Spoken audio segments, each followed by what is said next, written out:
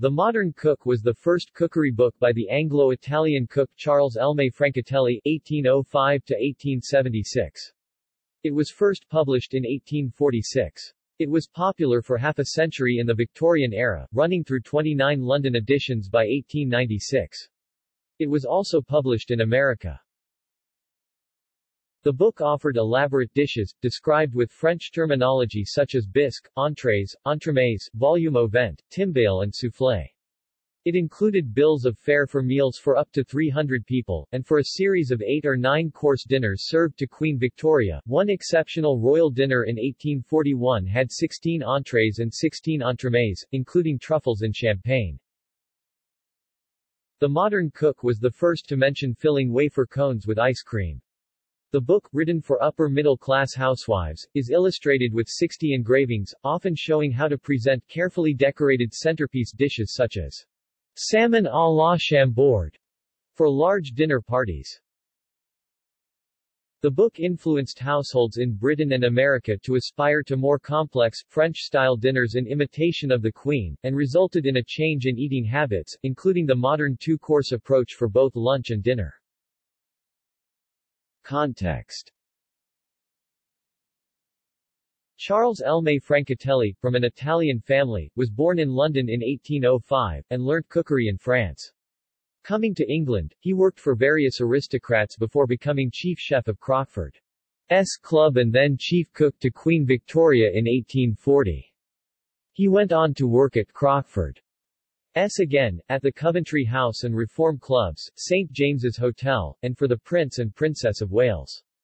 This made him a celebrity cook of his time. Book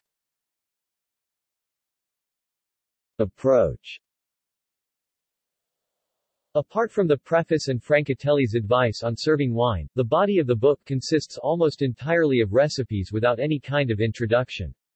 There is no guidance on choice of kitchenware or advice on the layout of the kitchen. The recipes are presented entirely as instructions, generally without illustration. Quantities, where stated, are incorporated in the text, ingredients are never listed explicitly. Quantities are sometimes named, as in the cream bechamel sauce, which begins Put 6 ounces of fresh butter into a middle-sized stewpan, add 4 ounces of sifted flour, some nutmeg, a few peppercorns, and a little salt. In other cases only the relative proportions are indicated, as for the salmis of partridges with aspic jelly, where the only hint of quantity in the recipe is must be mixed with one-third of its quantity of aspic jelly. This recipe also indicates the style of cross-referencing, with the starting instruction. Prepare the salmis as directed in Note 1078. The Modern Cook is the first published record in England of filling wafer cornets, which Francatelli called gaufres, with ice cream. He used them to garnish his iced puddings. Contents the following apply to the 28th edition of 1886. The table of contents did not have page numbers. Illustrations The 28th edition is illustrated with 60, mostly small, engravings. There is a full-page frontispiece of the author, drawn by Auguste Hervieu and engraved by Samuel Freeman (1773–1857). Freeman is known for working mainly in stipple, and the portrait here is no exception. All the other engravings are of completed dishes, showing the serving plate with the food arranged on it and often elaborately garnished. The artists and engravers of the food illustrations are not identified. Bills of fare Francatelli provides a series of bills of fare for every month throughout the year, including dinners variously for 6, 8, 10, 12, 14, 16, 18, 20, 24, 28 and 36 persons, though not all of these in every month. The bills of fare for dinners for six persons thus represent the simplest menus in the book.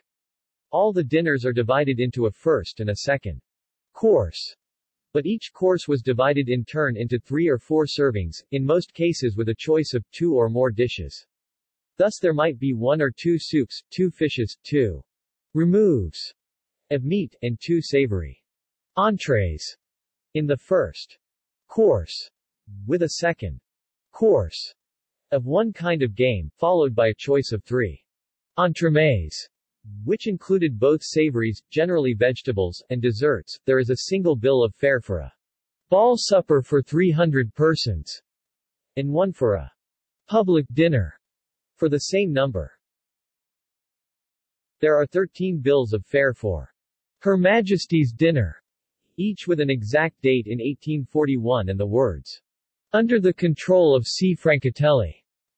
Each of the royal dinners has either eight or nine courses including a buffet or sideboard, except for that of the 30th of June which is divided into two services and has 11 courses. The royal dinners are described almost entirely in French, with the exception of the heading, the phrase sideboard, and a few specifically British dishes such as roast mutton and haunch of venison.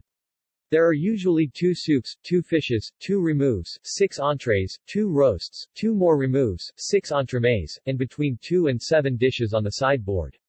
The exceptional royal dinner of 30 June 1841 had 16 entrees and 16 entremets.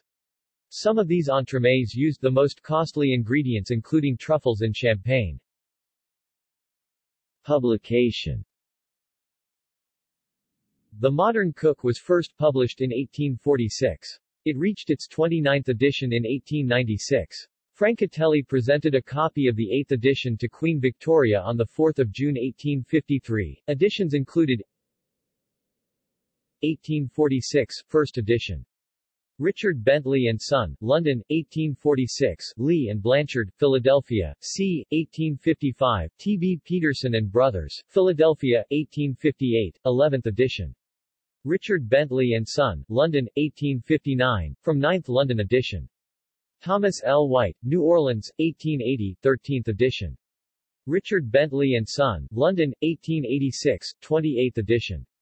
Richard Bentley and Son, London, 1895, from 26th London edition.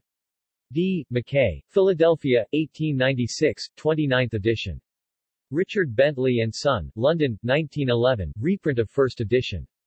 Macmillan, London, 1973, reprint of 1880 edition, T.B. Peterson and Brothers, Philadelphia. Dover, New York Reception Contemporary Kettner's Book of the Table of 1877, describing Francatelli as a type of all the great French cooks, asserted that he gives a most elaborate recipe for aspic jelly, and he is so satisfied with it that, having to prepare a cold supper for 300 people, he works it up in every one of his 56 dishes which are neither sweet nor hot. The book further argues that this is the result of science, this the height of art. It produces, with such elaborate forms and majestic ceremonies, an aspic jelly without aspic, that, exhausted in the effort, it can proceed no further, and seems to think that here at last, in this supreme sauce, we have a sure resting place, the true blessedness, the euochate. George H. Ellwanger wrote in his Pleasures of the Table in 1902 that Francatelli's Modern Cook was still a superior treatise, and although little adapted to the average household, it will well repay careful study on the part of the expert amateur. The palate is as capable and nearly as worthy of education as the eye and the ear, says Francatelli, a statement which his volume abundantly bears out. He added that one sees, accordingly, an ornate observance of decoration in his grand army of side dishes. These are excellent throughout, but generally very elaborate, while his sauces and recipes for pastry are especially good. The same may be said of his quenelles and timbales. A competent hand will find his work a valuable guide from which to obtain ideas. It is not a practical book for the majority. The New Zealand Herald of 1912 commented that Francatelli was an earnest and gifted worker in the cause of gastronomy, and that the modern cook faithfully reflected Victorian dining habits. Everything was good and solid of its kind, even if tending towards complication rather than simplicity. The review opined that the great joints of meat, decorated with their silver hatelet skewers bearing cock's combs and trufflets, were attended by the most appetizing ragouts and garnishes. Despite the gloss, there was nothing meretricious or deceptive in the savory promises held out by Victorian comestibles. Quote, the reviewer notes, however, that even while Francatelli was describing this elaborate fare, the Excessive meat eating was being replaced by a diet richer in vegetables, and meals were becoming simpler, so that now, in the 20th century, much that Francatelli wrote about is no longer needed. Modern M.F.K. Fisher, writing in the New York Times, stated that millions of American women in the 19th century organized every aspect of their lives, as much as possible in imitation of the Queen, and that the modern cook sold almost as well in America as it did in England. Admitting that few American kitchens could follow all its directions for the light Gallic dainties Francatelli introduced to counteract the basic heaviness of royal dining habits. She argued that all the same his two-course approach eventually shaped the way Americans now eat both lunch and dinner. She observed that at Windsor Castle, Francatelli and other royal chefs were assisted by 24 assistant chefs and two yeomen of the kitchen, not to mention a multitude of servers and lackeys. This did not deter American housewives as far west as Iowa and then beyond from doing their best to follow his instructions, the Historic Food website notes that Francatelli provides two recipes for mincemeat, one with roast beef, the other containing lemons but no meat, c. Ann Wilson, Introducing Women and Victorian Values, 1837-1910.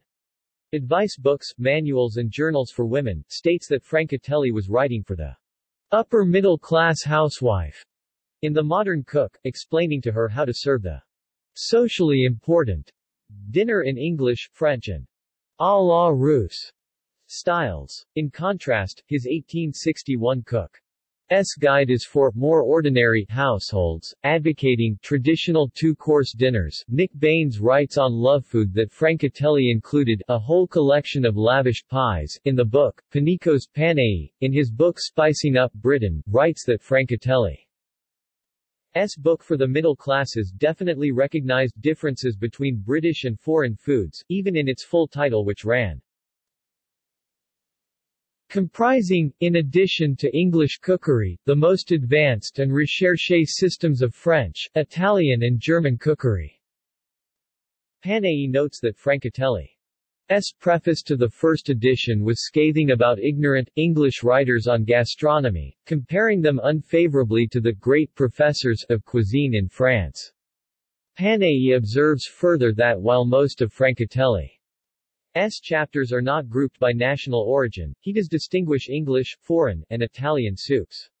He notes that it would have taken years to eat all the dishes listed, and that it is impossible to tell how often middle-class families may have eaten.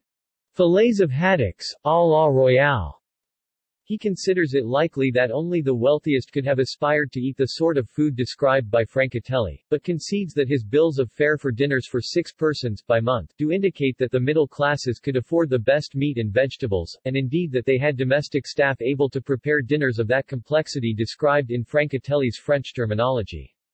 Panayi concludes that Francatelli represents perhaps the most extreme example of the 19th-century British habit of giving dishes French descriptions.